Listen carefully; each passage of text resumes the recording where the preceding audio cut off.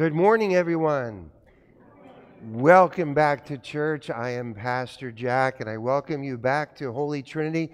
What a beautiful day we have in our area today. The storm is over, so we're between storms, I understand. So let's enjoy the sunshine and the better temperatures. And welcome to church as we praise the Lord. Just two uh, quick announcements. First, we welcome back Jennifer Foos as our guest musician. Jennifer, thank you for coming today. And we have some prayer concerns to share. Uh, please remember Marga Khan in your prayers. She was recently hospitalized at Chilton Hospital. Ellen, is she still there or did she? She got home. Praise the Lord. I, I thought that would happen. So our prayers go to Marga. And Marga, if you're watching online, you know we love you and we're praying for you. We're also praying for Kurt Leifkin. Kurt had surgery this week on his ribs, and we pray that the good Lord will bless him with healing. Shannon, do not make him laugh. That might hurt if he starts laughing. Uh, and we also pray for Megan Hayden and uh, Andrew Duffy. Uh, they were married a couple years ago and they welcomed a brand new baby girl into their lives named Annabelle Marguerite. Now, Later in the service, we're going to see a picture of this beautiful baby. We'll put her picture up during the announcements today, and you'll see what a beautiful baby girl. So, congratulations to Megan and Andrew on their new baby girl. Let's start with the children, as we always do. Come on up. We have lots to talk about, as always. Lots to talk about. Good morning. What a beautiful day we have. As Mr. Rogers would say, what a beautiful day in the neighborhood. Glad you're here. And I want to ask you do you remember the name of our church season? Not the season of the year, the church season. Starts with the letter L. Go for it. Lent, absolutely. Very good. We are in the season of Lent, which is a 40 day period before Easter. What's the color of the church season? What color do you see? Purple. Purple, my favorite color. So I, I like wearing purple. It's my favorite color. The season of Lent, it's not Lent, it's Lent. All right, there's a special day coming up on Friday. Does anybody know what, what's going to happen on Friday? Very special day. Anybody know? Well, I get a chance to tell you. It is St. Patrick's Day on Friday. St. Patrick's Day. You know what's interesting about St. Patrick's Day? We have we honor the saints of God all throughout the year. Did you know there is a St. Peter's Day and a St. Paul's Day and a St. John's Day and a St. Matthew, but nobody knows what days they are. But everybody seems to remember St. Patrick. It's March the 17th, St. Patrick's Day, and I have something to show you which is a, a symbol of St. Patrick's Day. Do you see this here? You know what this is? What this is a symbol of? A close, very close. He, uh, Levi said it's a four leaf clover. It looks like one, uh, but you'll notice there's only three leaves on this one. It's not a four leaf clover, but it's a certain symbol that we associate with St. Patrick. And I'll tell you a little story about it. What do you think this is? It's a symbol of love. A very good answer. It's, it's a symbol of love, and this is called a shamrock. A shamrock is a type of clover. And I'll tell you a little story. There was a man named Patrick well, a long, long time ago. Now, Patrick was born and raised in Italy. Patrick was an Italian man who traveled north. He became a Christian. He traveled north, and he started telling people all about Jesus in an area we now call Ireland. And uh, so Patrick went up there. He was talking about Jesus and God, and he he took this shamrock, which is kind of like a clover, and he said, "I'm going to teach you about God. There are three names for God, and there are three sections of the shamrock. The three names for God are God the Father, God the Son, and God the Holy Spirit." So Patrick actually used this as a teaching tool. He picked the clover up and he said, Do you see the three sections?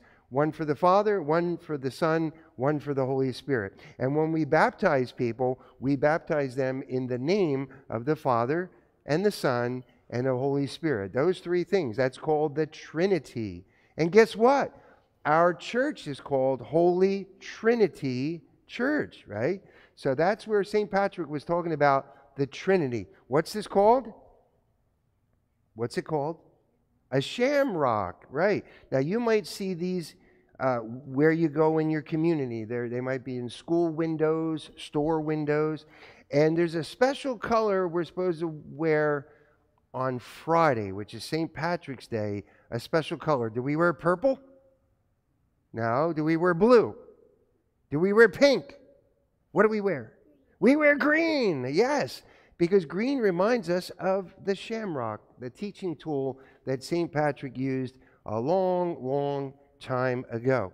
So that's what, the, what it's all about on Friday. If you have something green that you can wear, uh, that would be great. If you have a, a shirt or pants or something that's green, put it on. It's a lot of fun to honor St. Patrick on Friday. Now, we call him St. Patrick because he's one of the great people that went around telling people about Jesus. You got it? March 17th, Friday, St. Patrick's Day. Don't forget what a great day it is to worship God and honor this wonderful, wonderful man. Can we say a prayer about that? Can we pray? Grown ups, join us in prayer. Let us pray. O Lord our God, we thank you and praise you for all the great men and women who have proclaimed their faith and shared it with others. And this Friday, we especially will lift up St. Patrick.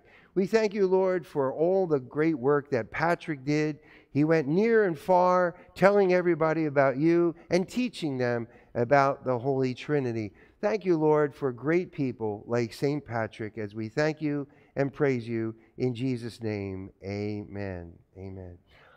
I am really, really happy that you came to church today. Mrs. Griner has a great lesson. Ms. Wendy has a great lesson for you.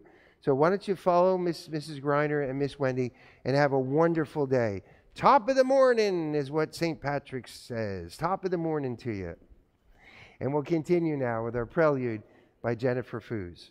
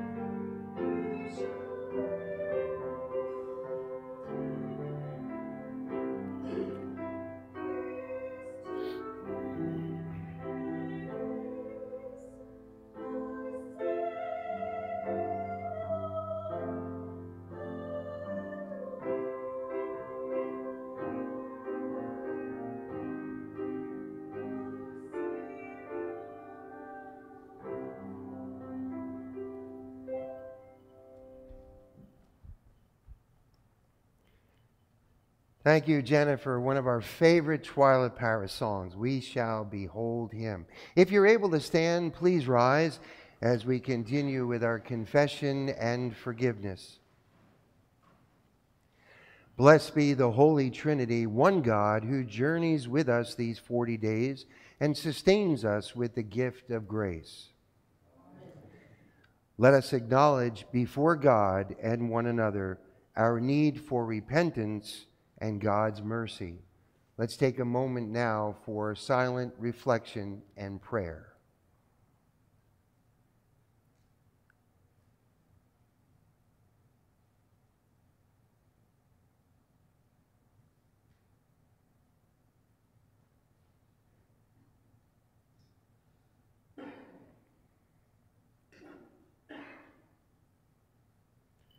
Holy God, we confess to you our faults and failings.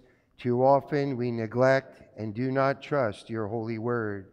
We take for ourselves instead of giving to others. We spoil rather than steward your creation. We cause hurt, though you call us to heal. We choose fear over compassion. Forgive us, renew us, and lead us as we seek to follow in your way of life Amen. Hear the good news. God so loved the world that he gave his only Son, so that all who may receive eternal life. This promise is for you. God embraces you with divine mercy and forgives you in Christ's name and revives you in the Spirit's power. Amen. Please remain standing for our first hymn today.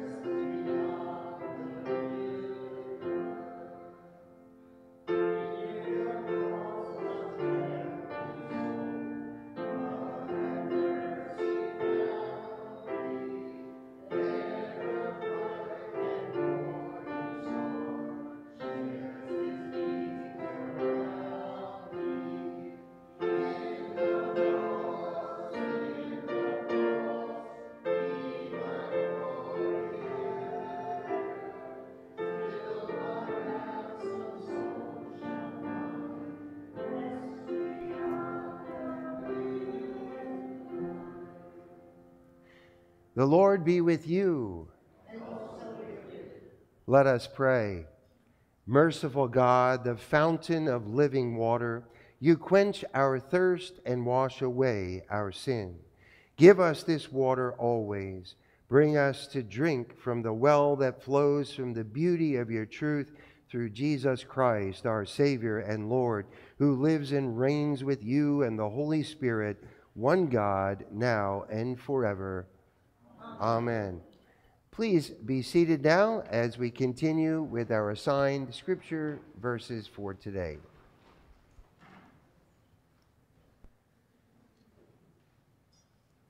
Good morning. Our reading for this morning is from Romans 5. In the reading, St. Paul reminds Christians that suffering can make us spiritually stronger when we rely on the grace of God and we can acquire great wisdom from the lessons we learn from our trials and tribulations. St. Paul writes, Since we are justified by faith, we have peace with God through our Lord Jesus Christ, through whom we have obtained access to the grace in which we stand, and we boast in our hope of sharing the glory of God.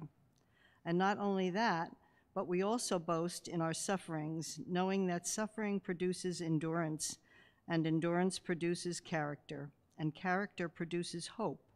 And hope does not disappoint us because God's love has been poured into our hearts through the Holy Spirit that has been given to us. For while we were still weak, at the nighttime, Christ died for the ungodly. Indeed, rarely will anyone die for a righteous person, though perhaps for a good person someone might actually dare to die. But God proves his love for us in that while we were, st- were still sinners, Christ died for us. Much more surely then, now that we have been justified by his blood, will we be saved through him from the wrath of God. For if we were enemies, we were reconciled to God through the death of his Son. Much more surely, having been reconciled, will we be saved by his life. But more than that, we even boast in God. Here ends the reading. Please rise for the reading of the Holy Gospel if you are able.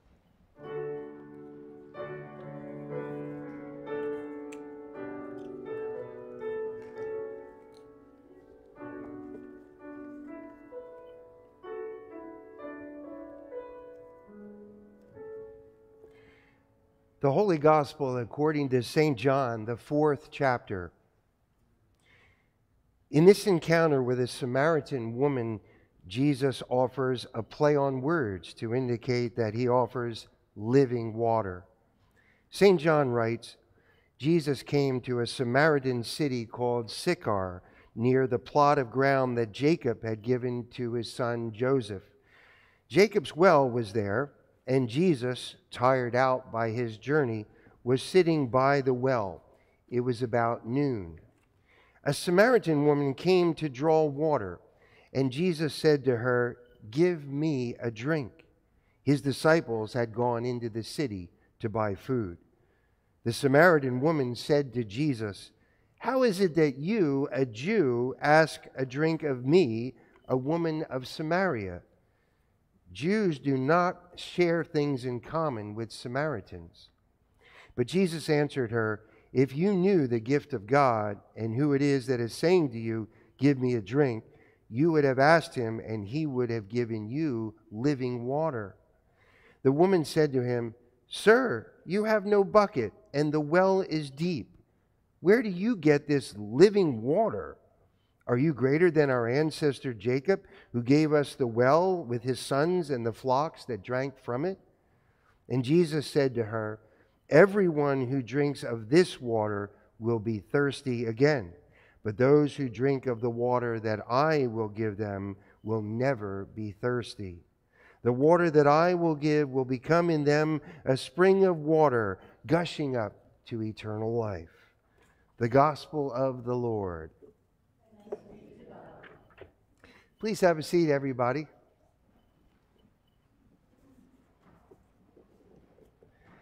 Today I greet you in the name of the risen and victorious Lord, and what a beautiful day we have here at Lake Telemark. Those of you who were part of the Good Friday lunch this past Friday, uh, if you were there, this sermon is going to sound real familiar to you. I would like you to look up at the monitor this morning. You'll see two people presented on the monitor screen. On your left side there is Kelly Clarkson, a famous American singer and songwriter. And on your right is a 19th century German philosopher by the name of Friedrich Nietzsche. Now, they have a lot in common, these two, believe it or not. You know what they have in common? they each said these words What doesn't kill you makes you stronger. And that's what I'm going to preach about today. What doesn't kill you makes you stronger. I want you to think about that. Not far from here, there is a gym where people go to work out. And there should be a sign above everybody that says, What doesn't kill you makes you stronger.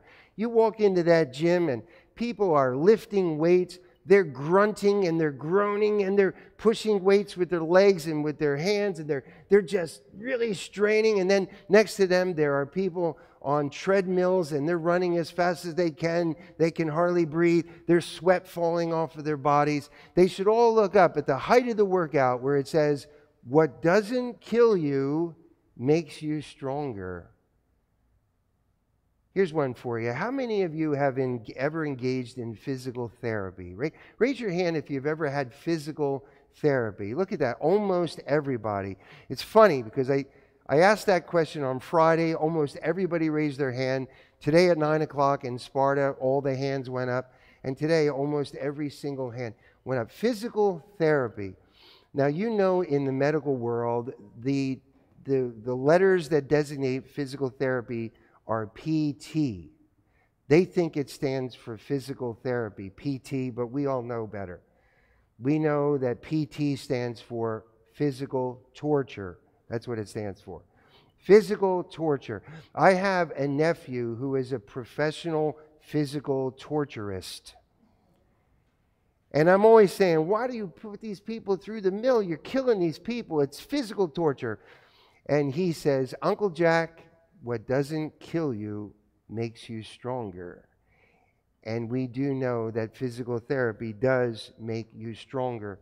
What do we learn about all this? Well, we learn that we can apply these lessons to everyday life. When you're going through stress in your life, when there is tension, when there is pressure in your life, when you endure that pressure, it actually makes you a stronger person. Did you know that? It does. You come out of your experience stronger than you did when you went in. If you're in a crisis, if you're in a situation that is uh, pressing on your nerves and your faith, you find out that there are reserves, spiritual reserves you can count on, people around you. You actually get stronger through and after the process. St. Paul basically said these words. St. Paul basically said, What doesn't kill you makes you stronger. But he used these beautiful words from our first reading. Paul writes, Suffering produces endurance. That's a good thing. Endurance produces character. That's a good thing. Character produces hope. That's a good thing. What is Paul trying to say? Paul says that when you go through tension, when you go through the trials and tribulations of life, you get to be a stronger person. You get spiritually stronger. You rely on God. You rely on your reserves. And you know that the Holy Spirit will strengthen you in and through the process. You actually get stronger with the resistance. Again, I go back to the whole weightlifting illustration. When you're lifting weights, you are putting resistance on your weights. Let's say you're working on your biceps. You're putting resistance on those muscles. And what happens after a, a certain time? The muscles get stronger because of the resistance. They get stronger. Now, the human body is very, very interesting. What happens if you sit in a chair and never get up. Let's say you don't walk around and days and weeks and months go by. What happens to your legs if you never walk? They become weak, they atrophy, and you won't be able to walk again. That's why they tell seniors today, the elderly, keep moving, keep on moving, get those legs exercised, get on your feet, because the more you sit, the worse it gets. This is what the whole concept is is resistance builds strength, or as Paul says, endurance. And that's true in your problems in life. You lean into the problems. You rely on the grace of God. You rely on the strength of God to get you through those very difficult times. And don't get me wrong. You're not sitting there saying, gee, I wish I have some rough times in my life because I want to get stronger. Or, why doesn't God send me a crisis? I need to build up my spiritual reserves. No, you don't welcome a crisis. You don't invite a crisis. You don't look forward to a crisis. But it's amazing what happens when you're in a crisis. You discover things about yourself you never knew. You discover you're stronger than you think you were. And you discover that by the grace of God and through the power of the Holy Spirit, the resistance gets you stronger by the grace of God. There was an experiment, a scientific experiment conducted years ago, where they took bumblebees up to the International Space Station. They wanted to see how do bumblebees behave in zero gravity situations? What's going to happen? So they took a whole bunch of bumblebees up to the space station. The bees had plenty of oxygen, they had plenty of food and nutrition, but something strange happened. After three or four days, each one of those bumblebees simply dropped dead, died. They couldn't figure out what happened. So they brought another group of bumblebees later back up to the space station, plenty of food, plenty of oxygen, plenty of nutrition. After three or four days, the second group of bees also collapsed and died right there. They said, What's going on? And they made an interesting scientific discovery. The bumblebees need the resistance and gravity for their wings. When they're flapping their wings, resistance and gravity makes them stronger. It makes them stronger. And when they were up in space, the bees are like, hey, we don't have to flap our wings. We're just going to kind of glide around and float around. They weren't exercising, they weren't building up their wings, and finally, they withered and died. Another thing happened when they were studying butterflies. Now, as many of you know, a caterpillar goes in and makes a chrysalis, a cocoon, if you will, and then after about four weeks or so, the butterfly then begins pushing against the walls of the cocoon, fighting like crazy to get out. Eventually, the cocoon splits and the butterfly emerges from the cocoon and flies away.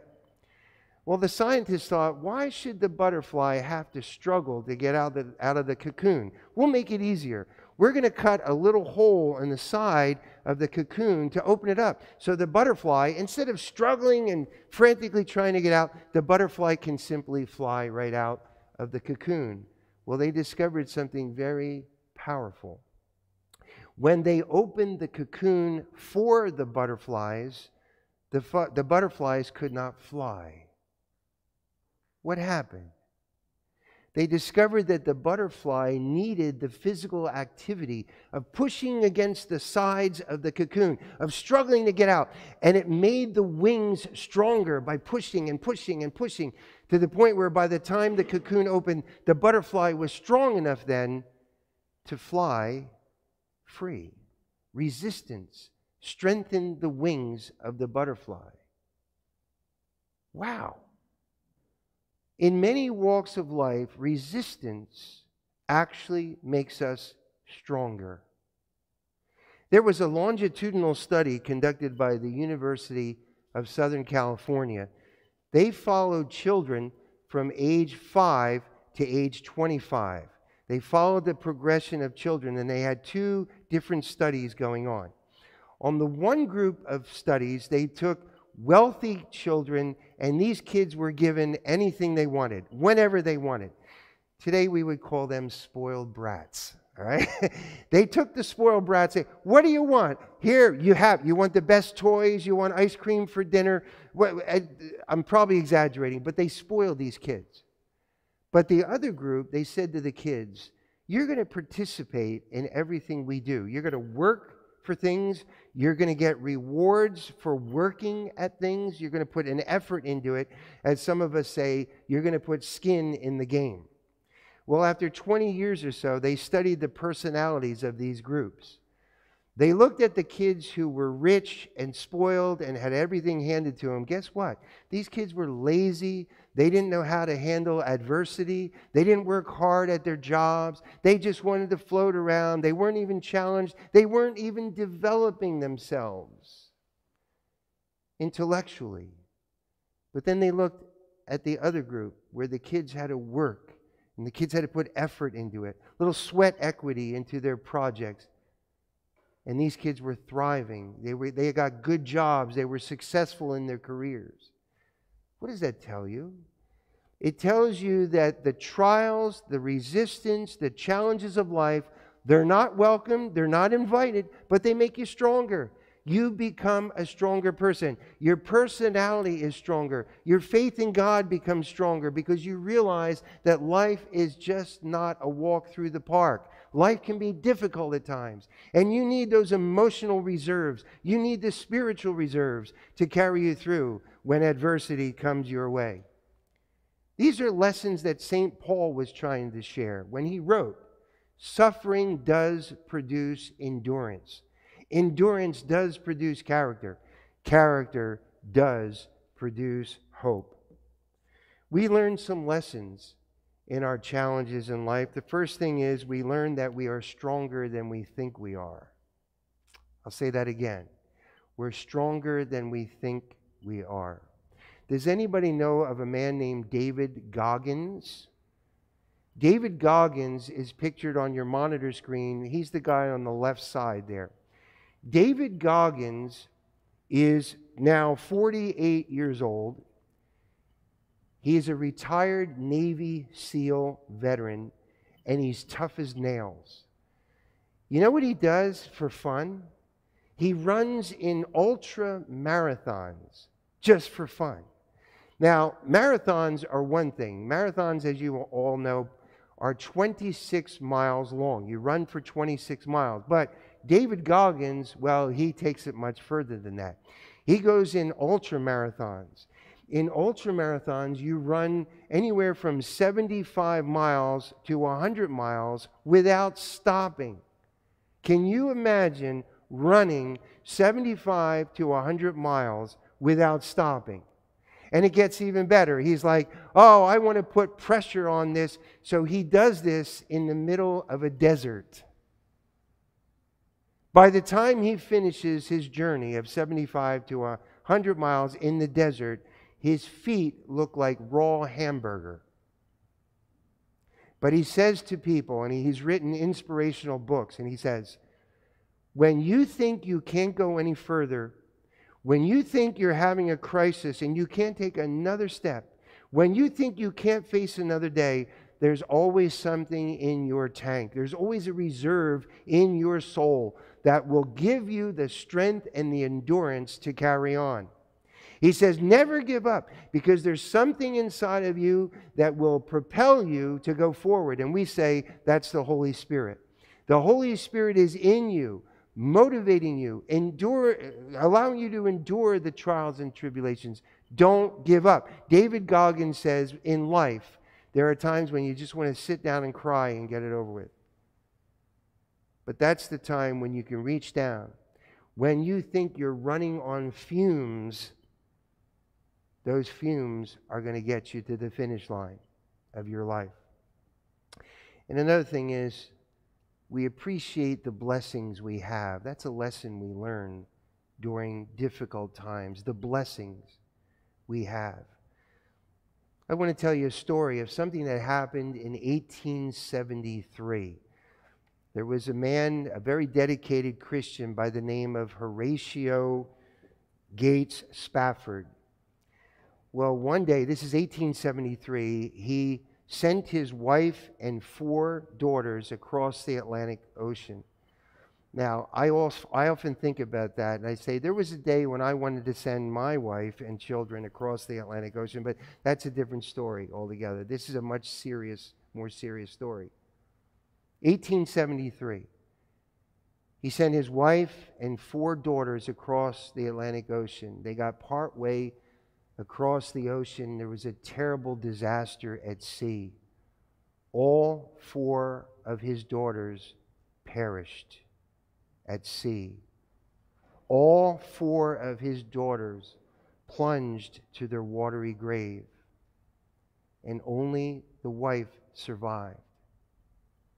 Not long after that, Horatio himself took the journey across the Atlantic Ocean. And he arrived at the spot where the disaster took place, right there in the middle of the Atlantic Ocean. He dropped on his knees and he prayed to Almighty God. Now, here's a man who is grieving, grieving so rawly and desperately for the loss of all four of his daughters. He falls on his knees. He says a prayer to God. And then he penned one of the most inspirational words you'll ever hear It is well, it is well with my soul.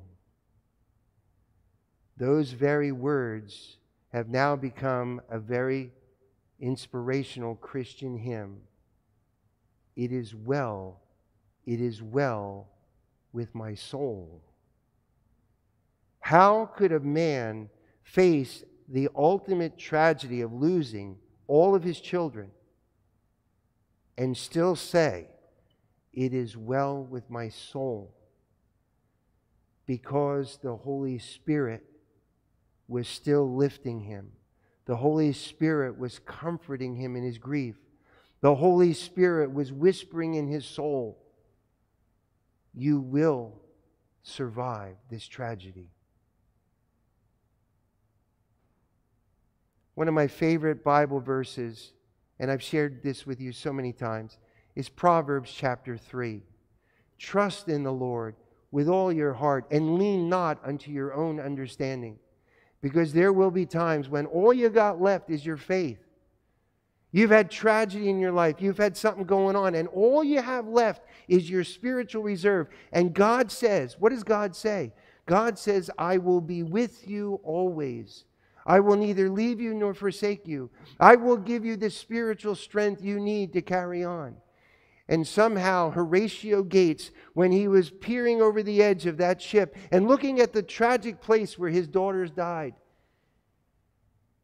he said to himself, My life is a mess, but my spirit is still strong because the Lord my God will lift me and strengthen me. You've heard the famous poem, Footprints in the Sand, where the guy says, During the rough times, there's only one set of footprints. That's because that's when God was carrying him, and that's what God does with you. I don't know what you're going through in your life right now, but if you're going through a crisis, if you're going through a challenge, if there's something that's overwhelming, you can't go another day. That's what you're thinking. But the Lord is saying, I will be there. I will lift you, and it is well with your soul. I will get you there to the finish line of life. What did Paul say? I remind you again of what Paul said. He said, Suffering produces endurance, endurance produces character, and character produces hope. Whatever you're going through today, don't give up. Don't give up. But lean on the everlasting arms of your Lord and Savior, Jesus Christ. And tell yourself over and over what doesn't kill you makes you stronger. Thanks be to God. Amen. And may the peace of God, which surpasses all human understanding, keep our hearts and minds in Christ Jesus. Amen.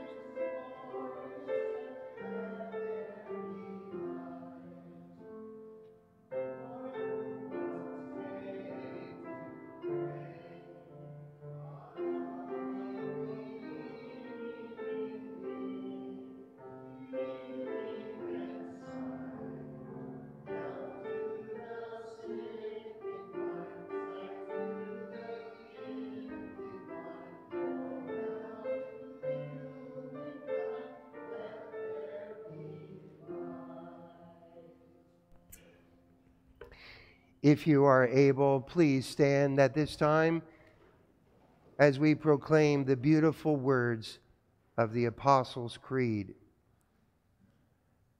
I believe in God, the Father Almighty, creator of heaven and earth. I believe in Jesus Christ, God's only Son, our Lord, who was conceived by the Holy Spirit, born of the Virgin Mary, suffered under Pontius Pilate, was crucified, died, and was buried. He descended to the dead. On the third day, he rose again. He ascended into heaven. He is seated at the right hand of the Father and he will come to judge the living and the dead. I believe in the Holy Spirit, the holy Christian church, the communion of saints, the forgiveness of sins, the resurrection of the body, and the life everlasting. Amen. You may be seated at this time. And once again, our choir has a very, very special anthem they would like to share with you this morning.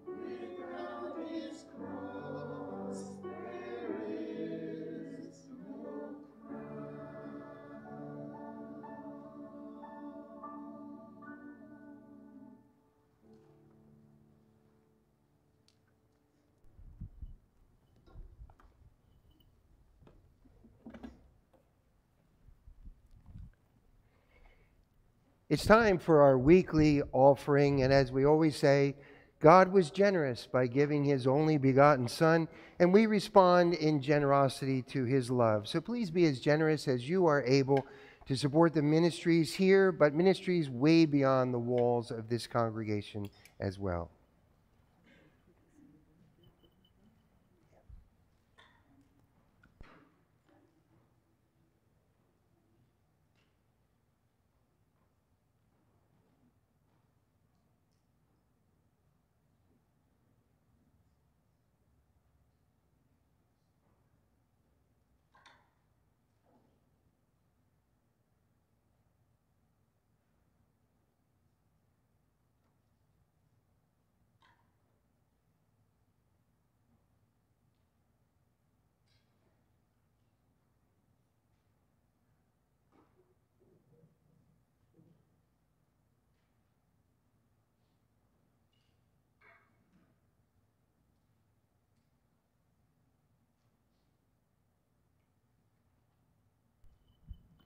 Please rise as the offerings are brought forward.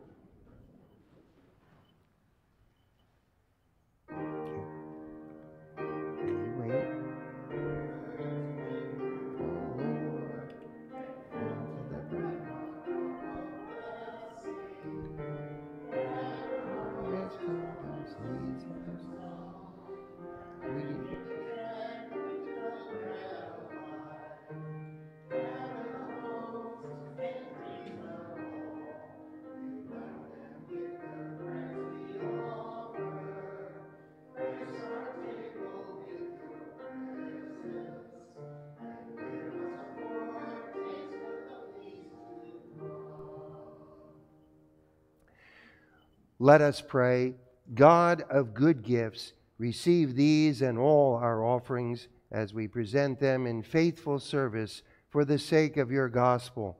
Prepare our hearts to receive you in this meal as you pour out your very presence through Christ Jesus, the wellspring of eternal life.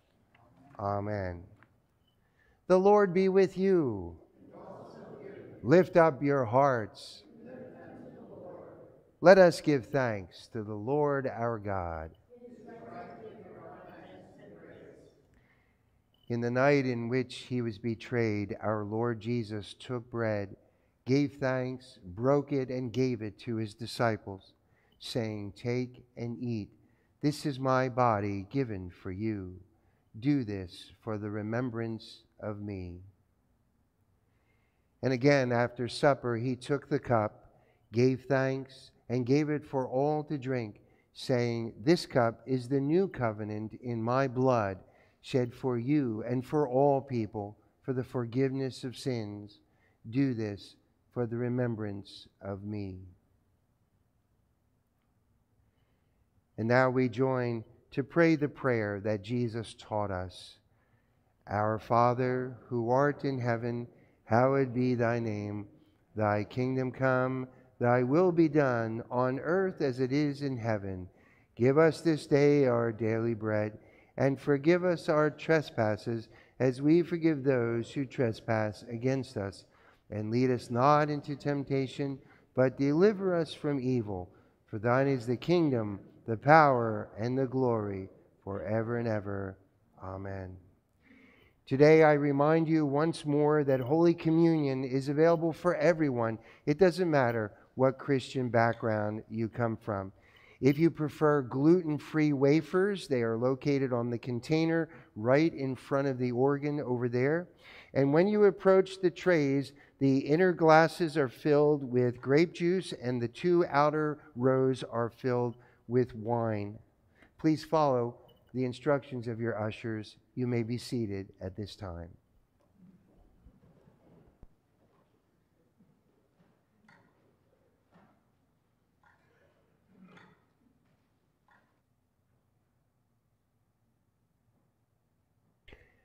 Once again, if you're able to stand, please rise.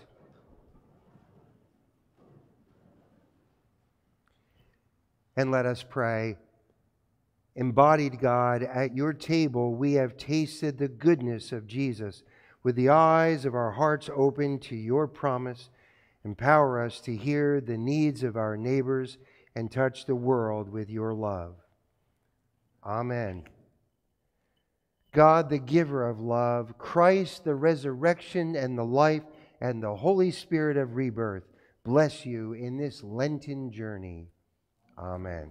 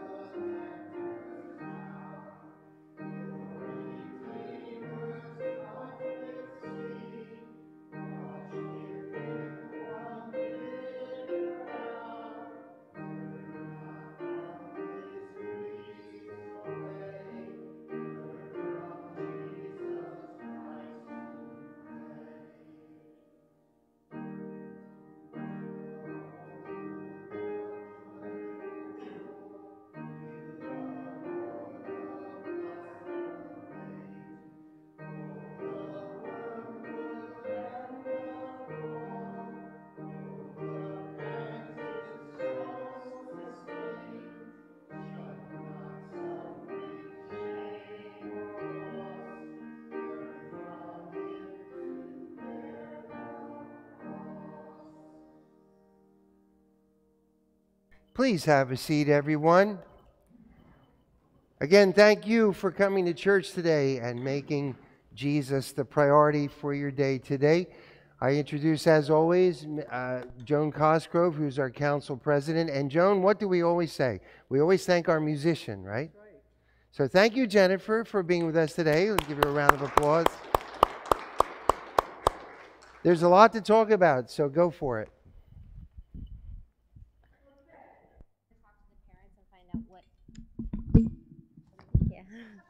What day is better, but the 24th is KDM's talent show night. We're going to change the date, so just hang tight.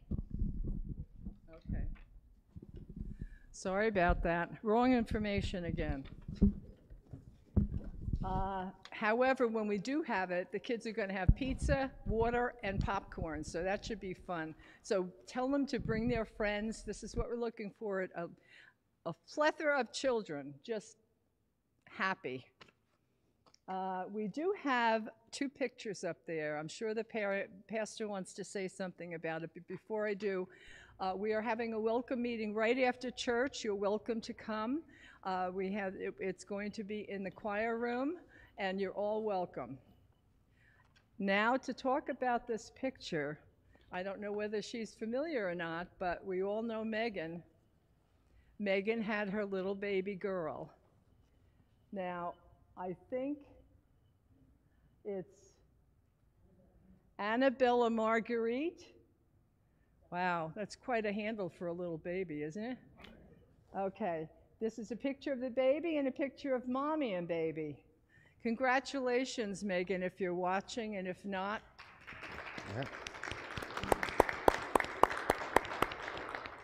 Megan is one of our, uh, our Sunday school teachers. So um, do we have any other announcements to make? Pastor. Okay. Yeah, just a special shout out to the man in the control room here, uh, Jonathan Bollard. Jonathan, we really appreciate everything that you do. Yeah, give him a round of applause here. He's a, a very, very intelligent young man, and uh, he's been filling in very nicely while uh, Don Gullickson and Donna are enjoying warmer climates for a while. So thanks again, Jonathan. You do a fantastic job every Sunday. Thank you. He's very shy. Stop by and tell him thank you. Go in peace. Serve the love.